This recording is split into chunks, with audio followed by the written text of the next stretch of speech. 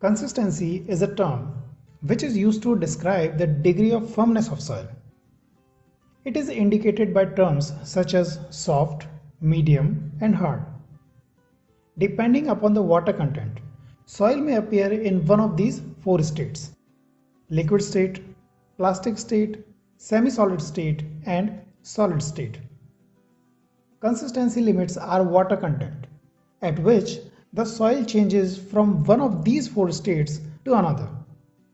These limits are liquid limit, plastic limit and shrinkage limit.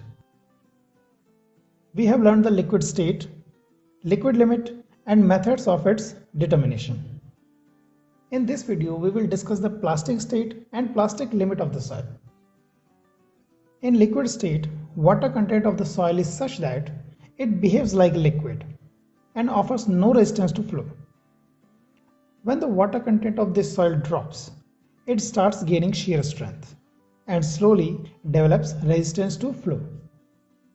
At water content, named as liquid limit, soil gains infinitesimal shear strength.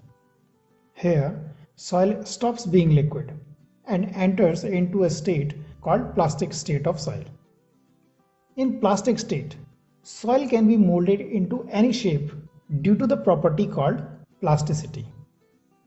Plasticity is an important index property of the fine-grained soils, especially of clay soils. Plasticity in case of soil refers to the property of soil to get deformed without cracking or fracturing under the action of external force and remain deformed after the removal of that force. Plasticity is exhibited by soil due to the clay minerals present in it. These clay particles carry negative charges on their surface. Water molecules that are dipolar are attracted towards this negatively charged surface and form a water layer around the clay particles. This phenomena is known as the adsorption with D of the water and water so attracted is called adsorbed water. The clay particles are separated by layers of water, which allows them to slip over one another. When the soil is subjected to deformations, soil particles move to different positions. And after the removal of the deformation force, they do not return to their original positions. Hence, these deformations are irreversible which we say they are plastic. The presence of adsorbed water is necessary to impart plasticity characteristics to a soil. The soil does not become plastic when it is mixed with a non-polarizing liquid such as kerosene or paraffin oil. Also the soil becomes plastic only when it contains clay minerals. If the soil doesn't have any clay minerals and only contains non-clay minerals such as quartz, it would not become plastic whatever may be the fineness of soil or whatever may be the water content. That soil cannot be rolled into threads. In plastic state, soil can be rolled into threads without breaking them and it can be molded in any shape. Plasticity of soil is calculated in terms of its water content. As the water content of the soil is reduced, the plasticity of the soil is also reduced. While soil is in the plastic state, if we reduce its water content, soil reaches a point below which it stops behaving as a plastic material. That water content is called plastic limit of soil. At this water content, soil loses its plasticity. Below the plastic limit, soil begins to crumble when rolled into threads of 3 mm diameter. We can determine the plastic limit using the soil sample prepared for the liquid limit test.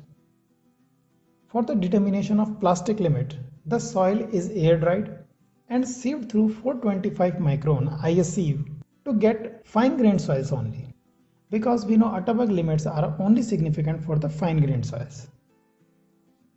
425 micron IS sieve has its mesh openings of 425 micron or 0.425 mm. The particles we get after the sieving are all of the size less than 425 micron. These particles include fine sand, silts and clays. We take about 30 gram of this sieved soil in an evaporating dish.